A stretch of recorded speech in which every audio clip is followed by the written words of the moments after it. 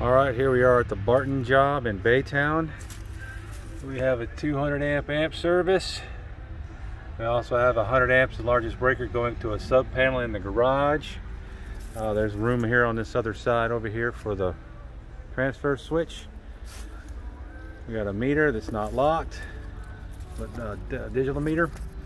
We're actually going to be, gas line is right here, which we're going to upgrade by CenterPoint to two pounds of pressure.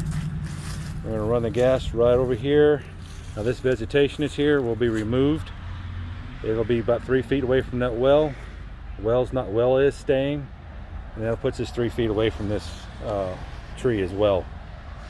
All right, uh, give me one second I'll show you the other sub panel over in here. All right, here's our other sub panel. This one does have the AC on it. There's a 50 amp for the sub panel on here. Um, this is located inside the garage and we will be putting in a 25 kW Generac liquid cooled. That's it for the Barton job in uh, Baytown.